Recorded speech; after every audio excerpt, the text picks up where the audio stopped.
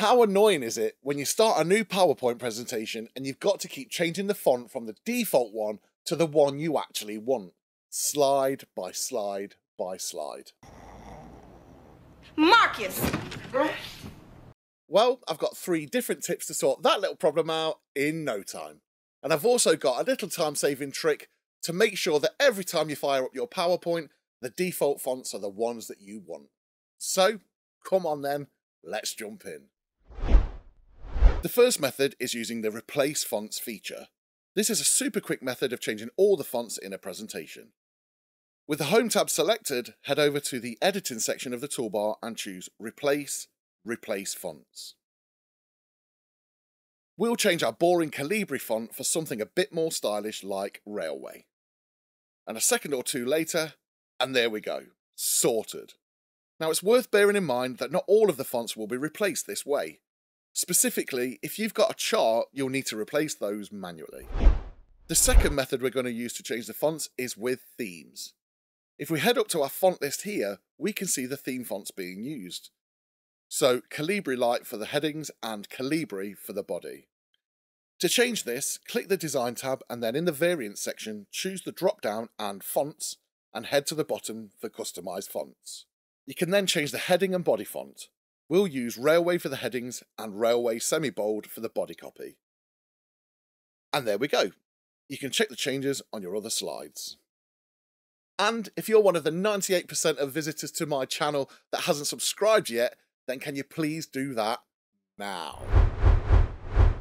Right then, the third way we can apply global changes to fonts in our presentations is with the Slide Masters view.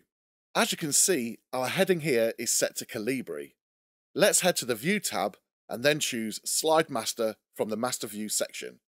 Master slides control the look of your entire presentation, including colours, fonts, and backgrounds. In the Slide Master view, we'll edit the main master slide. Go to Fonts in the background section of the toolbar and choose Customize Fonts. Here, we can change the heading font and the body font for all slides. Let's change the heading to Raleway Light and the body font to Raleway Extra Bold, and then click Save, and then close the master view. As you can see, the fonts have been updated with all of your changes. If you're finding any value in today's video, could I please ask you to give it a like down below. Okay, so these tips are great for existing presentations or for setting up a new one, but how do we ensure that the fonts we love are preloaded every time we fire up PowerPoint? Well, don't worry, I've got you. Let's create a new blank document and then we'll select the Design tab and then the drop down menu from the Variant section and choose Fonts and Customize Fonts. Change your headings font and your body font to the one of your liking. I'm going to go for Montserrat and Montserrat Extra Bold this time. We now need to save our design as a theme. Choose Save Current Theme from the Themes drop down list and name it.